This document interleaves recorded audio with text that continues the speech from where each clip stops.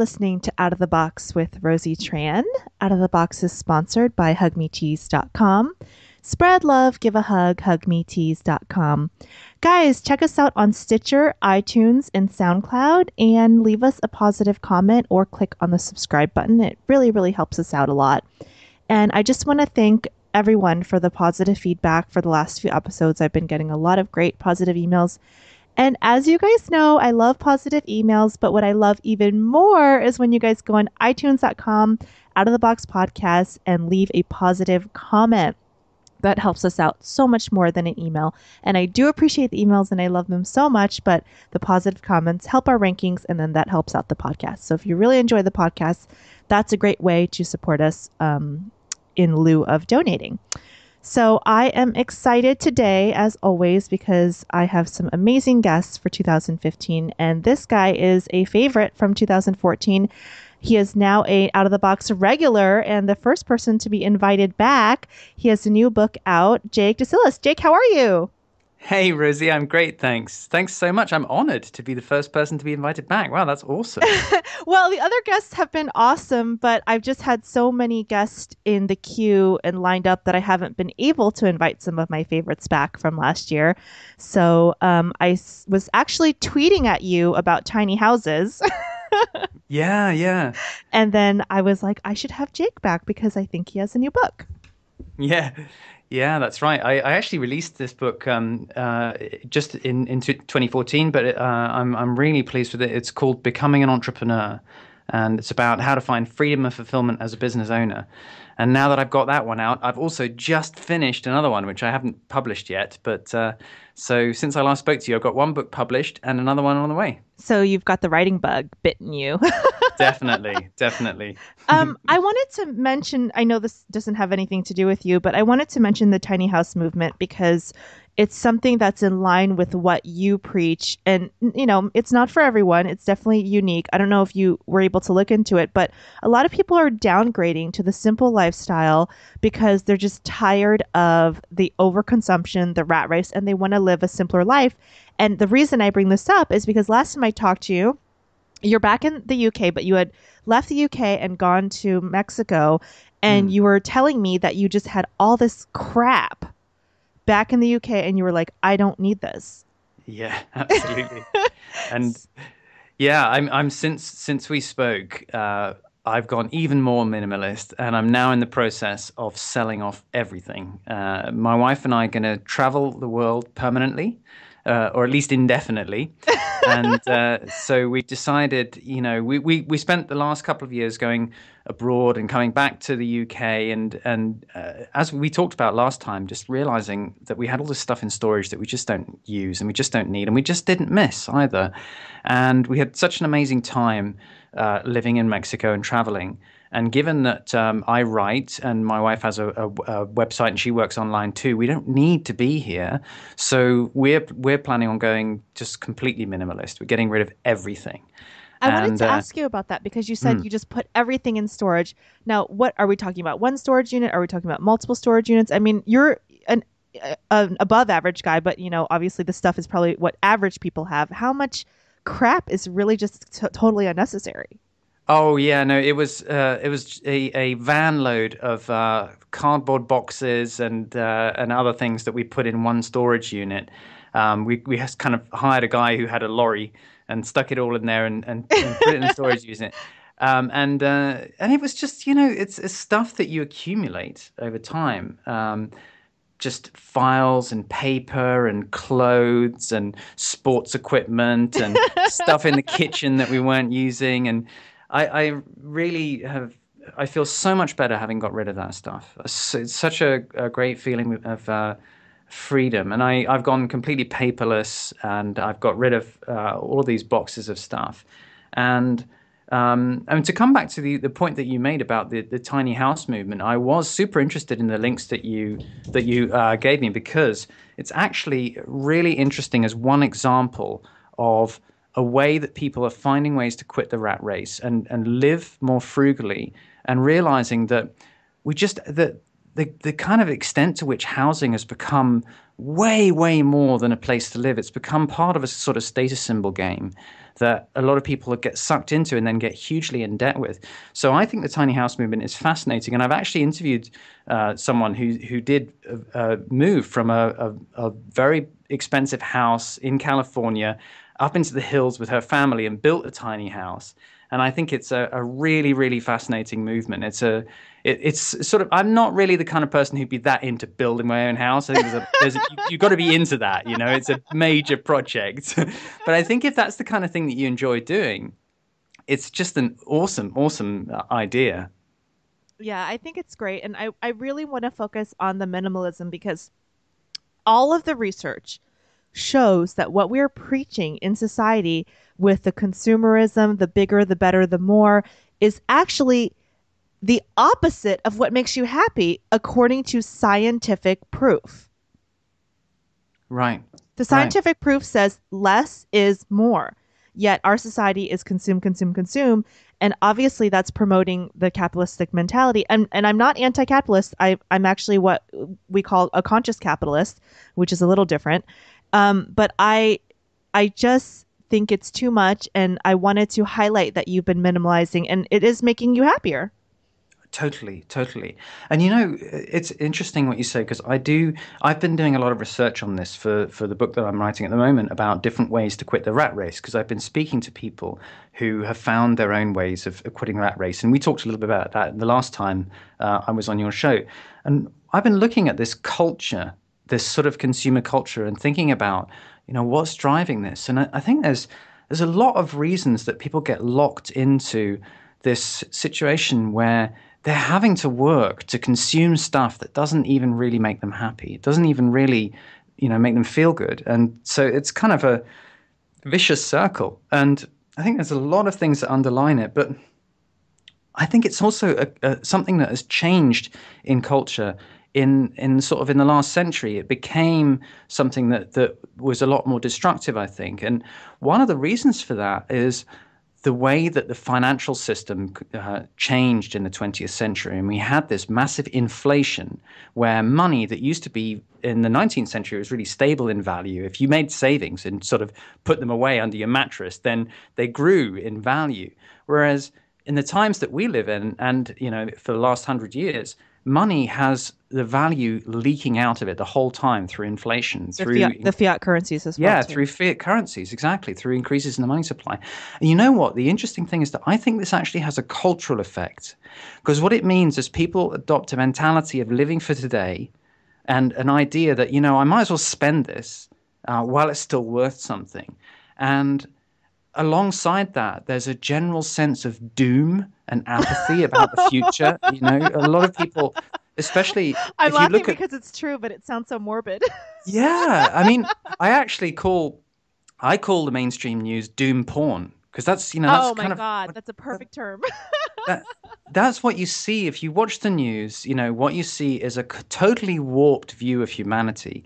You see the the latest and loudest emergencies where people are, you know, uh, where there's uh, death and destruction and violence and so forth. And of course, these things things happen, but they're on the news because they they they give you a fight or flight response. They're exciting in a kind of uh, uh nasty way, and that I think is, is that that whole kind of atmosphere from the media, as well as the way that the economic system is developed, has given rise to this culture of, of a sense of ap- apathy and a sense that you might as well spend your money today because it's not going to be worth anything tomorrow.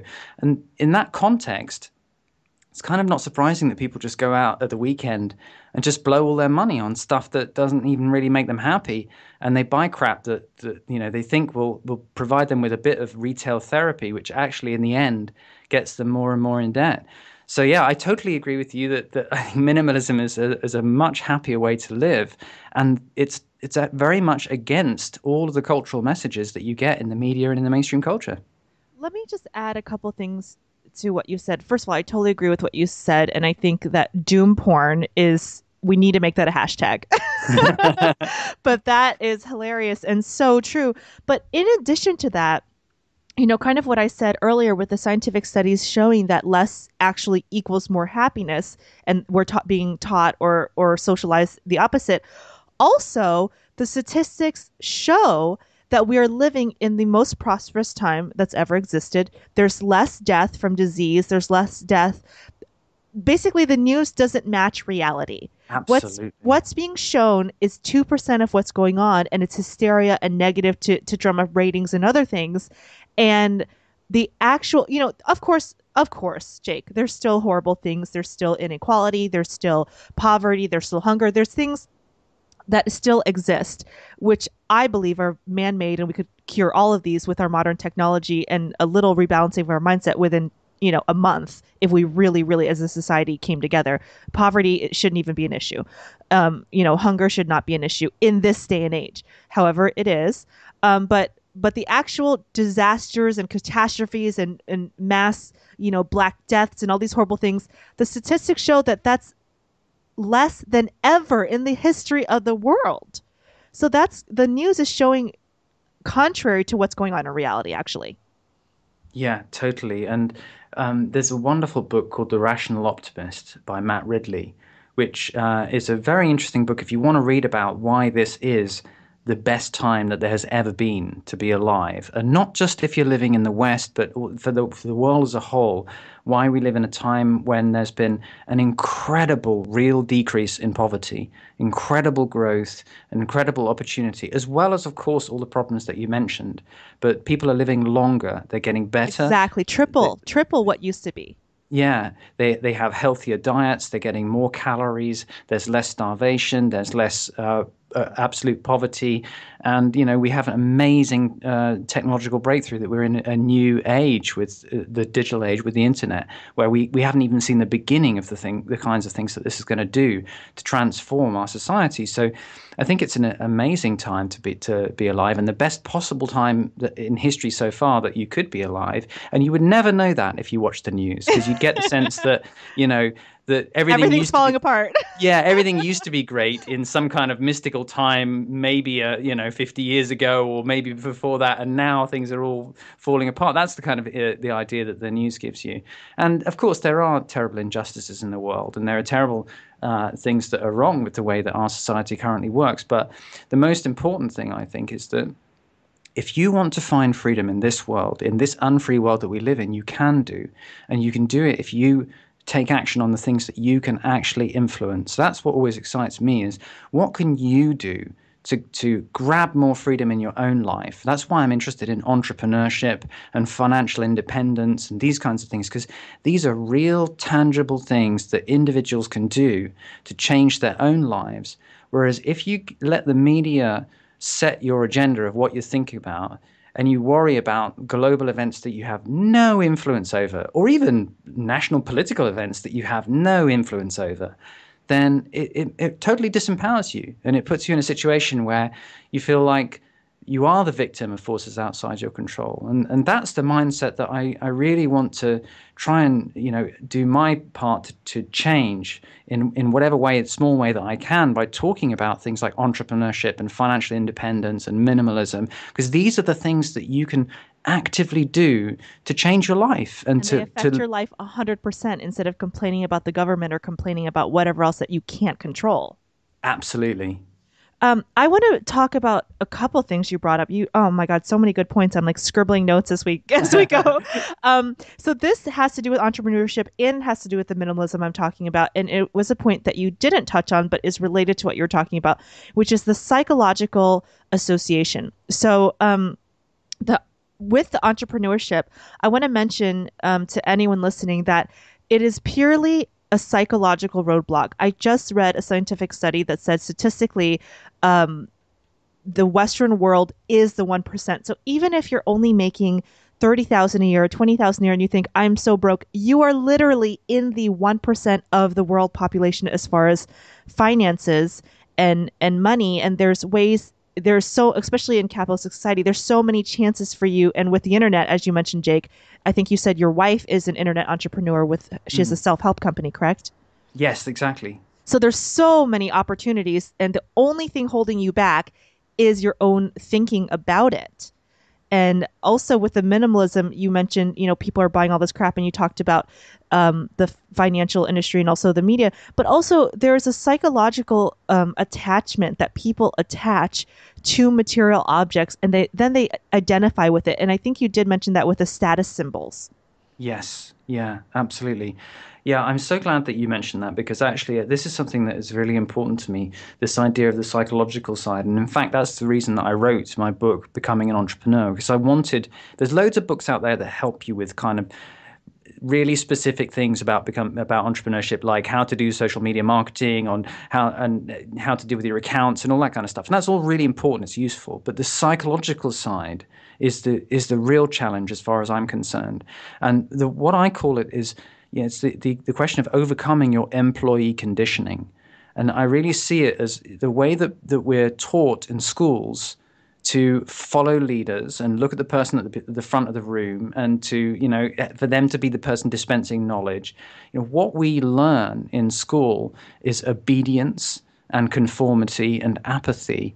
And becoming an entrepreneur, you have to break out that mindset because otherwise you take that obedience, conformity, and apathy into the workplace and you look for the next boss to follow and the next job to tell you, you know, how to how to live and so forth. And actually, and, I'm sorry, Jake, I don't want to cut you off, but actually, no. I wanted to add to your point is that you're and if you step out of line and become a leader in the traditional school system, you're actually punished in certain ways. Totally, totally. You have your uh, in your innovative side, your creativity, just just really uh, beaten out of you, basically, in terms of, of being punished for, for stepping out of line, and and that that's over a decade that we all spent in that environment, you know, and so it's like and the most developmental years of our psychology. Absolutely, you know, it's it's a prison for kids, and we're like ex-cons trying to find our way on the world outside, and you know, so what I've tried to do is to talk about every aspect of entrepreneurship and to talk about the psychological challenge of breaking that conditioning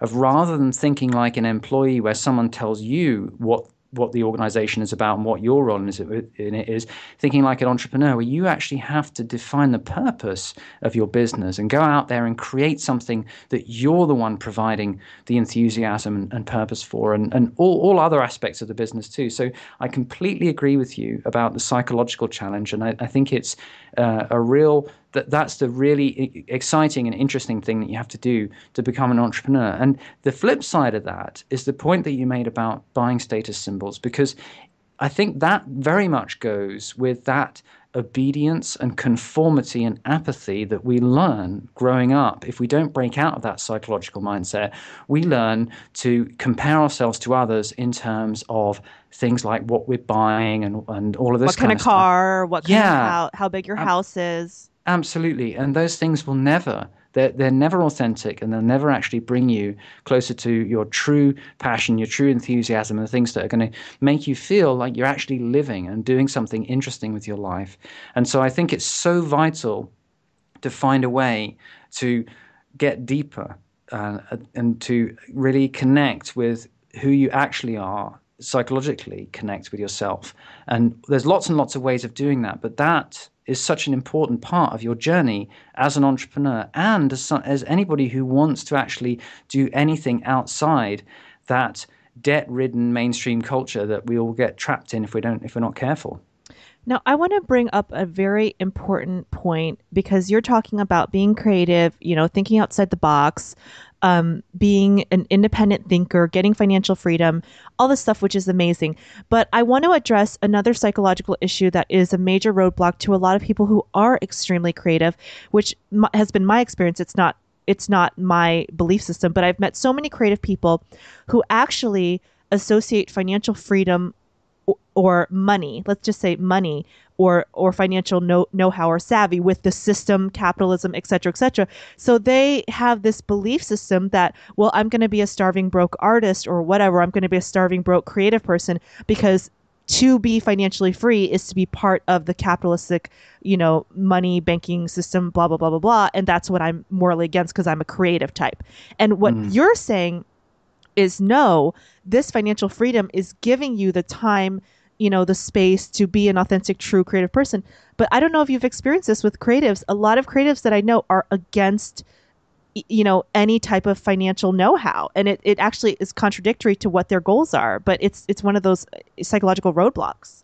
Absolutely. And i think that again is it's it comes very much from the conditioning about the role of money. And unfortunately the thing is that there are also a lot of total misconceptions about financial freedom and about what people who are wealthy do with money because the, the kind of what you see in the media is you imagine that rich people are people who, you know, buy Grey Goose vodka and drive around in, in, a, in a Mercedes Benz and they have a McMansion and they do all this stuff. And you know what's there's absolutely an evil fast? there's an evil associated with it, I think. Totally, of, yeah, it, and, it, and to a lot of creative people. Yeah, and not only that, that they've only got there because they're, they're because they're willing to exploit other people and, and and do that kind of thing. And you know, there's two things I want to say about that. Firstly, that is not the purpose of money for me. I mean, money, the purpose of money for me is freedom. That is what money is for. If you save money, if you earn money and save money, what you're doing is you're you're buying yourself more freedom.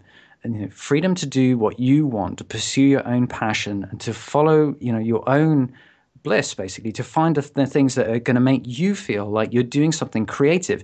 And whatever that is, that's got to be good. That's got to be uh, providing uh, a, a, force for good in the world. If you're a creative person, you want to do stuff that you think is good, money is going to allow you to do that. It's not in order to, you know, shovel more, more crap into your storage units. that's, that's, that's not what it's for.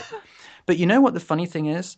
That's not even what truly wealthy people do. And this is the, the irony of it is that if you look at the research, and the, and the best person who does research on this is a guy called Thomas Stanley, who wrote the book The Millionaire Next Door. And he also wrote a book called Stop I love Acting. That book. yeah. And he also wrote a book called Stop Acting Rich. And what's really fascinating is that he looked at first generation millionaires and he looked at their spending habits. And what he found is that it's the millionaires who who the first generation millionaires who made it, the entrepreneurs, small business owners, they're not driving Mercedes Benz. They drive the most uh, common car for millionaires is a Toyota, right? Which is fascinating. That's perfect, Jake. I have a Toyota. there you go. You've got a you got you've got a millionaire car, Rosie. I'm on track. they don't live in McMansions. And this is the thing is that the fascinating thing about people who buy status symbols is that they're not generally they're not truly wealthy. What they are is they're high income, high consumption people. And Thomas Stanley refers to that lifestyle as the aspirational lifestyle. And this so true. That's so true. The, Everyone is, I know who is in a, a expensive German car and has the they are also swimming in debt over their eyeballs. Yeah, and this is the crazy thing is that they're doing that to impress other people who they think are rich because they're driving around in expensive cars and living in those big houses too. Those other people aren't rich either. It's it's like they're, they're all posers trying to impress each other by spending money on stuff. And it's terribly sad, actually, because actually what they're doing is they're, they're robbing themselves of the freedom that they could have had if they'd used that money to be frugal and to actually buy themselves the opportunity to live the life that they want to live and do what they want. I mean, for example, you know, what gives me fulfillment is writing books about entrepreneurship and financial freedom and ways to find freedom in an unfree world. That's what makes me feel free. I don't need a McMansion. I don't need to spend money on all that stuff stuff. You know, that's what I'm using my financial independence for. And if you're a creative person and you want to uh, do pursue your art, then that's what money can give you: the freedom to do what you want. And the and the truth is, the other thing about it is that. Um, people have an idea that you can only get money if you rip people off, if you exploit other people. And, and it comes from a mentality where people view the world as being one where it has to be win lose.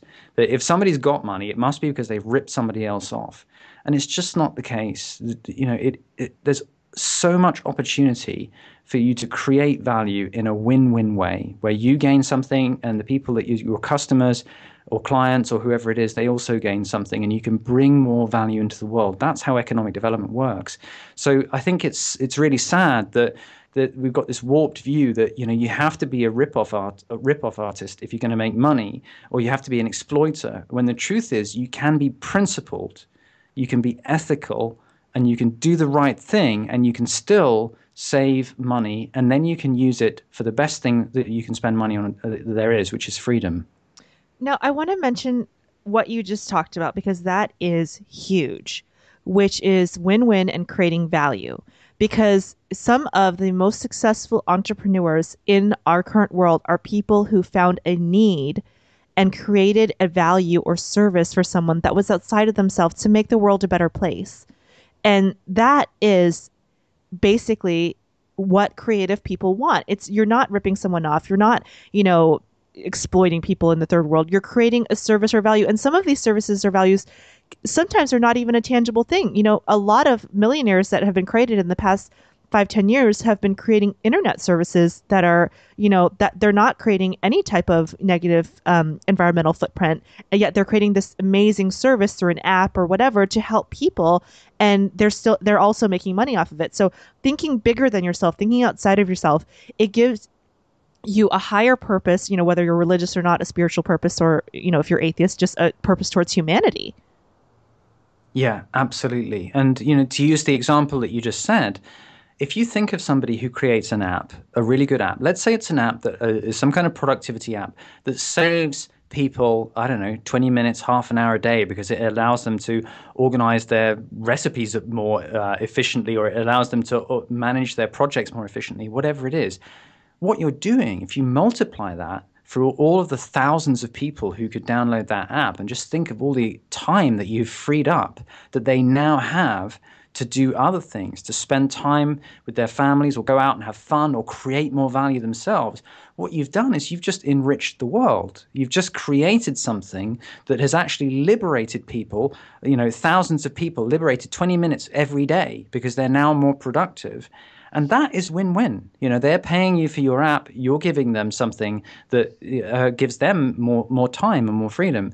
That's totally win win. And it's a, a great example of a way that by being an entrepreneur, you can have a positive impact on the world. That's one of the things that excites me most about entrepreneurship is that I, it, it is a way to actually improve the world. It's how we got to all of the wonderful things that we have in terms of our quality of life, economic development, and civilization, such that it is uh, up until now. It's all been because entrepreneurs have found new ways of doing more with less resources. That is so true. And it doesn't take a lot of money. I want to give an example of a woman. I don't know her personally, but I know of her.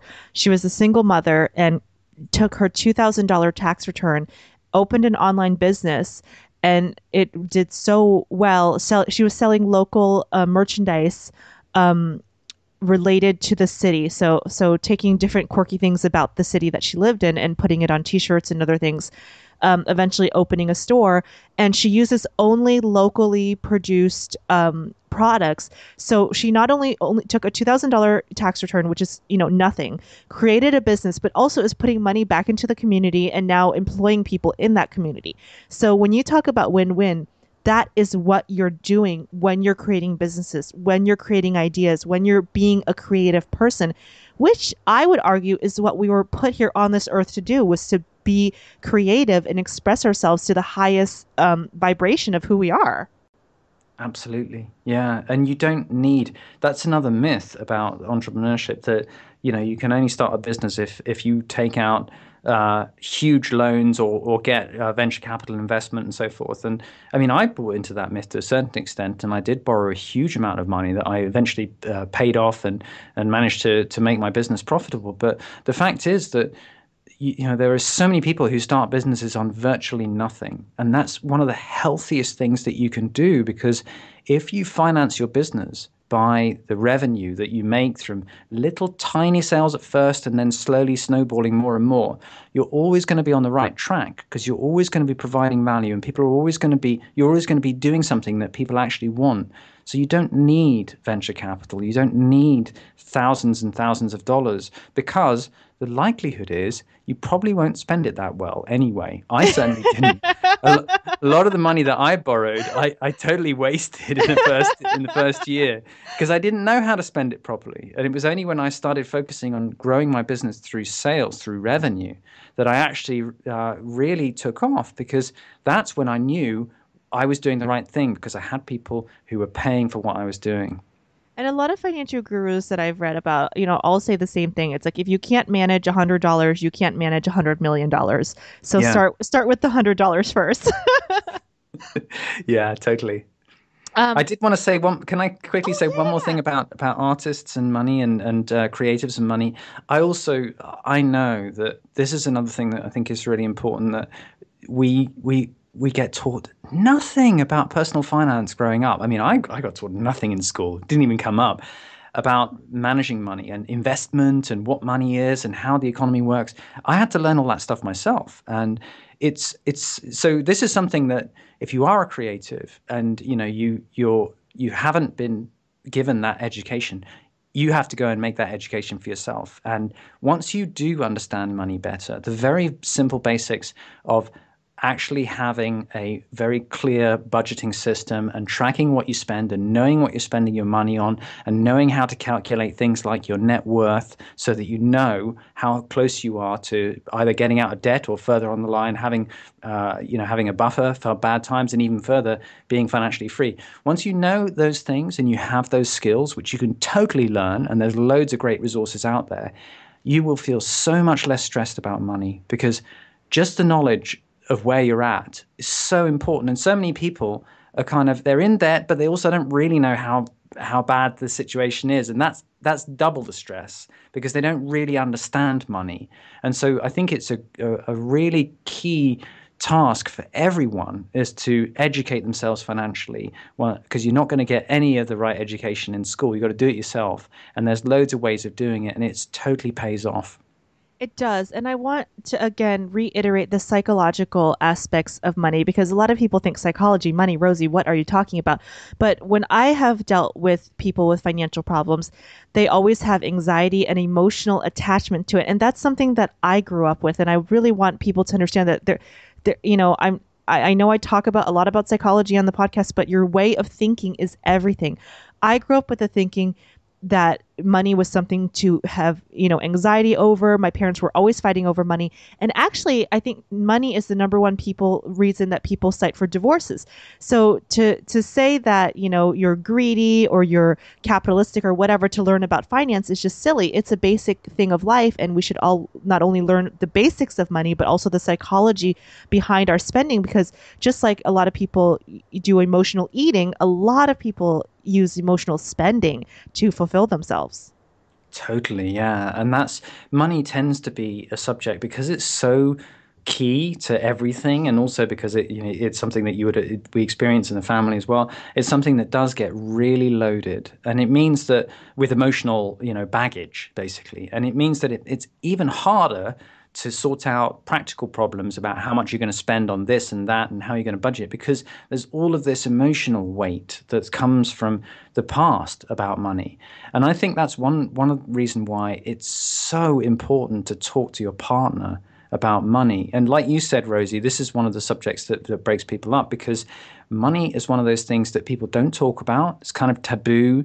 And then when they do talk about it, it's a fight. And it's like, why have you done this? Why have you done that? And it turns into a, a, a cause of lasting, sort of festering tension. And it's not easy. You know, my wife and I, money was one of the subjects that it was difficult to talk about. It was yes. really difficult. It was a cause of stress between us. And it was something that, you know, it wasn't like the first time we started talking seriously about money and what we wanted and how we want, want our household to work and what we're going to do about money. It wasn't like it was just, you know, okay, yeah, let's agree this and that, and it's all done. it, it was difficult. It was really difficult. And I just want to say that uh, even though it's difficult and even though it's stressful and even though you know you kind of feel like why are you pushing into a stressful subject and in the moment it totally pays off because if you can get to the point where money is not a taboo and you can actually uh, kind of lose the the heaviness of that emotional baggage. Disconnect from it, yeah. Yeah, yeah, and find a way to be on the same side with your partner about money, so that you're not fighting about it, but you've got a shared understanding of, you know, you compassionately understand each other's perspectives and what the emotional stuff is that that comes up for the other person, and you can kind of work through that together. If you get to that point, then it, you have an ally in your financial life. And that's so important because if you're not on the same page with your partner about money, you're going to fight with each other and you're also going to get in each other's way in terms of achieving your goals. So I think it's one of those issues that's not just important for your own psychology, but it's super important if you want a happy relationship. And I think a lot of people just avoid the topic. I have so many friends and relatives who say, well, you know, my hubby or wife can't deal with money, so we just split everything evenly. And then there's this sort sense of resentment, I feel, or I've noticed in these types yeah. of relationships where they're not on the same page. They just say, hey, you do your thing, I do my thing. As long as the bills are paid, we're fine. But then, you know, the, psychology is not just about money, it's about upbringing as well, because a lot of our belief systems that come from finance come from our childhood. So a lot of people feel attacked because the way that they learned about money maybe was unhealthy and that is associated with their their mother or father. And so they feel that you're attacking them if you say well this isn't you know finance well that's the way we did it in my household. What's wrong with that? You know a lot of people get defensive when you when you go into these core um, issues about finance, financial freedom. You know, um, they they are attached because of their childhood beliefs, and we got to let go of this because that is what holds you back. And every single time a topic is taboo, Jake, that is when you have to talk about it because taboo basically means avoid. absolutely absolutely totally i couldn't agree more and and so yeah i think it's it's and you're right rosie it comes from people bringing stuff that they've unconsciously picked up in their families. That's just the way we do things in our family. You know, that's the stuff that kind of you, you don't even realize that you've learned it. You just it's just assumptions that we hold that we all have to critically um, evaluate and not just like react against them and do the opposite because we you know, but actually critically evaluate them and decide what do I want my family to be like? What do I what do I want to let go of and do differently? And and how can I work through often, you know, the pain and sense of loss of, of having to realize, uh, you know, that was tough the way that they did it. That, that was bad for me in my own family. I want to do things differently with my partner or my kids because i don't you know because i know that that, that damaged me that hurt me. So sometimes people avoid it too because it's painful to think about things that were kind of dysfunctional in your own family. It's painful to actually acknowledge that but we have to if we want to break the cycle and move on and have healthier relationships. And i think it's painful for people to admit um, you know, I uh, there was a study I read that said that when people are proven wrong, when they're, you know, when all the data is against them, there's actual scientific statistics or things proving them wrong. Instead of admitting that they're wrong, the majority of people actually cling to their beliefs even more. so that goes against logic. You're saying, well, you're proven wrong. You know, let's just say I can't. You know, maybe someone says the Earth is flat. And so you're showing them these pictures from space, showing the Earth is round, you're showing all the scientific data. They will cling even more to their their that the earth is flat. And that's you know the human ego. And you know we, and we all know about you know napoleon and the crazy you know tr- conquerings of the world which were all fueled by ego. And so we all have this ego inside of us and we need to learn to tame it. Otherwise you know how many of you out there know extremely stubborn people? Well you know moving forward in your life you got to let go of that stubbornness and got, got to let go of that idea of being right. And Jake, you made an amazing point about you know relationships because me and my husband were not on the same page when it came to finance when we were first married and we had many fights about it. And once we worked all of it out and you know he definitely didn't have a good financial upbringing and i definitely didn't have a good financial upbringing. Now that we're on the same page it's actually empowering and a sense of pride when we meet our financial goals and it's created a bond with us that's even closer. Instead of every single time we talk about money it's a fight. Now when we talk about money it's very logical and and we when we reach these goals which we've reached a couple of them recently it's ecstatic. You know you just feel like a team like you said. Yeah absolutely. And i i've this is something that i've noticed in the, all the people i've interviewed who are working towards financial independence all of them have got supportive partners and supportive spouses. It's so key, you know. And I remember when we spoke last time, you were telling me about the way that you and your husband have worked it so that one of you uh, you were able to put one of your incomes into investment and the other income into supporting the household. I mean, that's such an incredible, powerful alliance and a way to achieve your goals together. And I can well understand why it feels good and why it feels like, you know, an achievement because you're on the same side. And that's such a wonderful thing to have in a relationship. Actually you know, I feel closer to my wife because we've been able to talk about money and because we're on the same side and we share the same values and we, we're working towards the same goals. And everyone who I've interviewed who's on the way towards financial independence or has reached financial independence, they all have supportive partners. Because if you don't, then one of the partners is going to be, you know, spending dragging you money. down. Dragging yeah, exactly, down. exactly, and that's going to lead to fights and everything else. So I think it's awesome what you and your husband have managed to do in terms of, you know, working out how you want to work forward together. And I think it's a really great example. And since we've switched to that model, the our savings and our investings have compounded because like you said we're on the same team. You know, we're we are living just off of his income, but actually we live such a minimalist lifestyle that it's his income and then there's extra money. And I just want to let you guys know out there, my husband and I do not make a lot of money. And I, I've said this on several podcasts, several years, you know, we we have been um, close to what is considered, you know, lower middle class or poverty line, but we've still been able to live on one income because, you know, we don't go crazy and we've actually developed the interpersonal skills, not the consumption skills. So I you know have increased my cooking. And i actually love cooking. And and so we save so much money when i'm buying these fresh healthy ingredients cooking at home versus spending you know hundreds and thousands of dollars going out to eat which a lot of people can that's like the majority of their budget is going out to eat. I'm not against it and we do go out to eat but i'm just saying that's one example of developing my skills instead of consuming consuming consuming. Yeah, absolutely.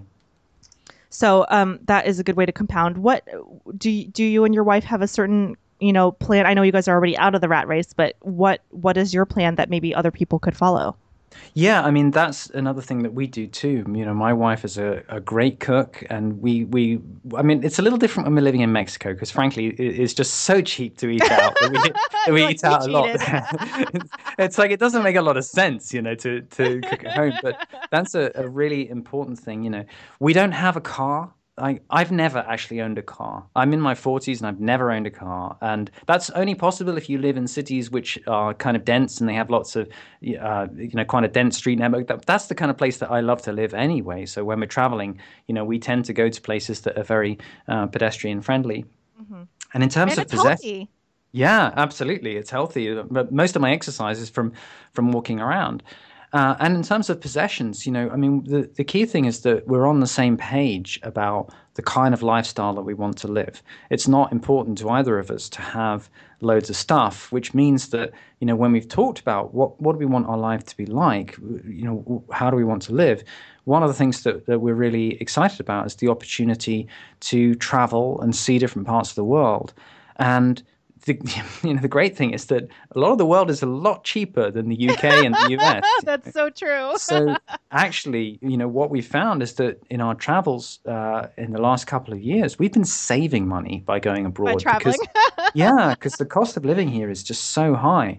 So given that those are the things that we want together, you know, we've decided that we're just going to get rid of all this stuff and get rid of the, the flat here in the UK. And we'll rent out places as we travel. And we're not going to, you know, we- we're going to be staying in one place for like six months at a time to get a feeling of what it's like to actually live there and, and so forth. So we're not going to be traveling like every every week or so. We're just, we're just going to slowly move around.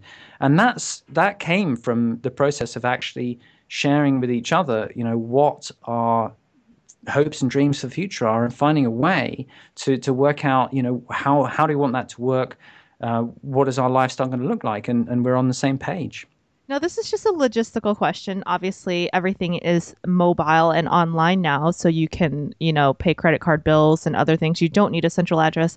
But I know a lot of these companies do require a, a physical mailing address. What do you guys use? Like a PO box or just Yeah, that's a good question because you know in the last couple of years we we've been coming back to the UK. So we've always had a physical address here, and we've also had a PO box that we've been able to use while we've been abroad for just for to forward our mail to. A lot of people use Earth Class Mail in the states. You know that you can actually there are companies that you can just get your stuff sent to. Um, but there are a couple of logistical things that I'm still not 100% sure how we're going to resolve. You know? you're figuring it out too. yeah, we're figuring it out as we go. You know, um, I, I'm I'm pretty sure that there's going to be. Uh, uh, I don't think we'll keep the PO box because that ultimately someone's got to open the box and get the stuff out and scan it and send it to us and stuff. So I think we'll probably go with one of the companies that will do that for us. Um, but yeah, we haven't worked out those that, that that's the kind of detail that we're going to have to work out before we leave. I feel a third book coming. yeah. yeah. Yeah, I think you're right. because people that get out of the rat race, they're going to be like, Jake, we're out of the rat race now. What do we do?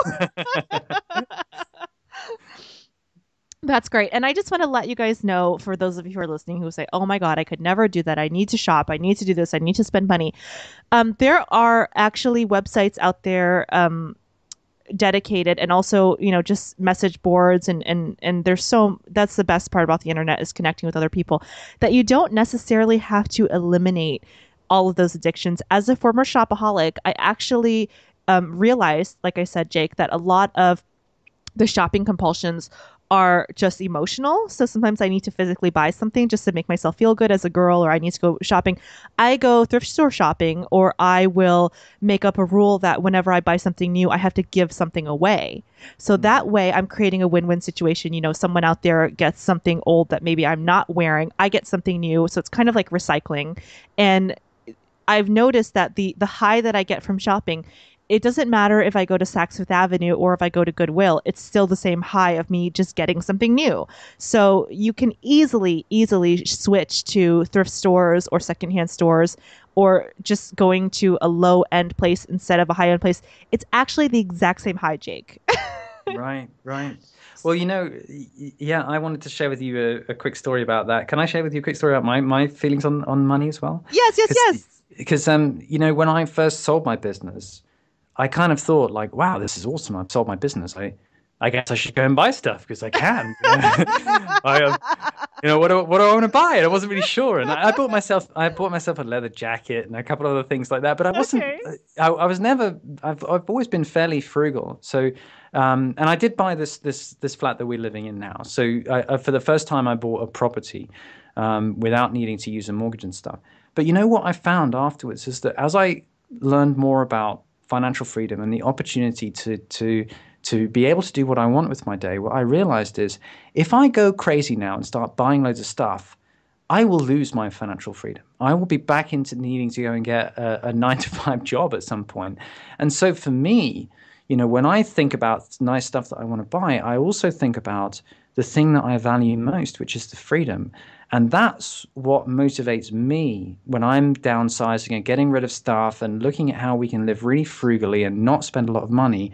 I, yeah, it's the freedom. I know what the end game is, which is I want us to be able to travel the world and do fun stuff. And I think that applies to every level of, of freedom that you have. The more you can get rid of debt, the more you can get rid of stuff and, and improve your net worth and give yourself financial freedom, the more opportunity you have to live the life that you want. And that's why there's always something that you're, if you go out and buy stuff, then you're, you're always uh, giving away freedom with when you do that. And that's the way that I sort of trick myself into thinking about it and, and, and motivate myself is to remember what it is that I'm, that I'm buying with that money.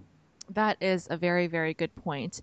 And, you know, I'm not going to say that it's easy because me and my husband have actually, we recently have had a lot of friends um, upgrading, buying bigger houses, buying, buying certain things. And I'm telling you, Jake, I got bit by the bug a couple times and I had to snap myself out of it where I said, well, well, maybe we should upgrade. Maybe, and you get, you get sucked in. Yeah, totally. And, totally. And, and then I, it was about a month where I was like, oh, maybe we should get a bigger flat. Maybe we should go to a, you know, a, a nicer place. And, and I kept going on and on and thinking about it. My thoughts got really manic. And then I was like, wait a minute. I snapped myself out of it. I was like, we're totally on point with our financial goals right now.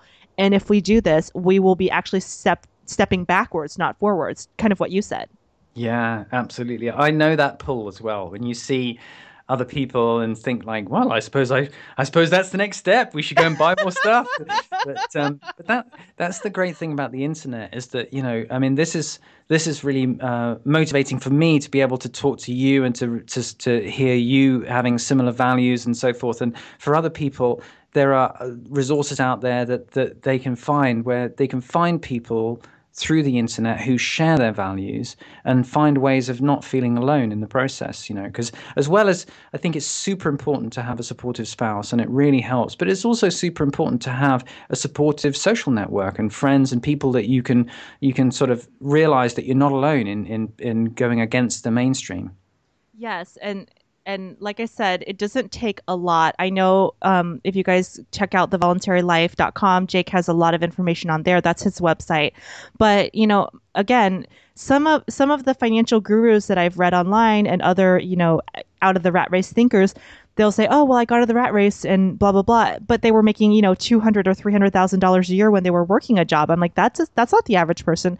But again, my husband and I are very average. You know, he works in IT as a technician. You know, I am a comedian. And we don't make that much money, but we're almost out of the rat race, Jake. Five more years if we stay on track. So fingers crossed. awesome. That sounds great. That's that's excellent. And I've actually interviewed people who have totally average levels of, of, Of wages. And, Yeah. yeah, and there are people. I mean, obviously, it's it's easier if you got a high income. If you're if you're doing something like really specialist, then it's easier and it's faster. Um, but there's lots of examples of people who are finding their own way of living more free, and some people don't even pursue financial freedom. Like we talked last time about the unjobbing route, where you you find a way to live a lifestyle that's incongruent, eh, that, that's congruent with your values, even though you may not actually have financial freedom. And so there are other ways that you can do it on less money too. And hopefully you'll also, you know, when I my next book, the, the one that I've just finished writing, is, is going to provide some examples of that because that's it's about four different ways to quit the rat race and outlines some of the options both on higher and lower incomes. Yes, and I just want everyone to know that it's extremely possible, though, because, like I said, a lot of the books I've read, the person was like, "Oh, I'm out of the rat race," yet they were making two or three hundred thousand a year, and so it was a lot easier for them. But um, definitely having a partner in crime helps. So if you are have a spouse or boyfriend or girlfriend, and you guys are not on the same page financially, that it's probably a great step to move forward to. And I'm 31. My birthday just passed, so I will be hopefully retired if I we stay on track by the time I'm 35, 36. And I just started in the past few years. You know, that's one of my biggest regrets was not starting as soon as I got out of college. But uh, unfortunately, I did the typical thing and wasn't aware of some of these um, issues. But you know, the sooner you get started, the quicker you can get out. And I want to mention because you did talk about your your second book that is coming out now. And um, is there a title or no? Yeah, it's four ways to quit the rat race. That's And, simple. uh, yeah, and um, yeah, so I'm I'm currently I've just finished it, and uh, I've I've given it to um, my wife and a couple of uh, close friends to give me the the first round of feedback, and then I'm going to get uh, my listeners on my podcast to to give me some feedback because that was incredibly helpful last time with uh, with my book, and then I'll I'll release it in a couple of months. Okay, so guys, check out that book. It will be released in a few months. And what inspired you to write the second book? Well, really, just the stories of people I've met through my podcast. Because I, you know, my the book "Becoming an Entrepreneur" is about how I achieved my own freedom through entrepreneurship and through selling a business. And I wanted to find out about other ways that other people have found freedom. And so I've interviewed a lot of people on my podcast, and you know, talked to them about the different things that they're doing. And this book is really putting together all the stories of different people that I've met and talked to who've found ways of, of, of finding freedom themselves. And I've put it together and really uh, sort of trying to outline the four different approaches that that that uh, kind of summarizes all the, the fantastic stories and, and wonderful people I've interviewed. So that's what this uh, that's what this book is. And you're in it, Rosie. I've got you know the oh examples Oh my gosh, Jake! yeah.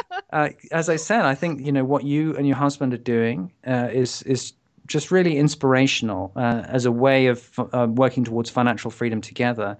So you're in it, and uh, lots of other people I've spoken to.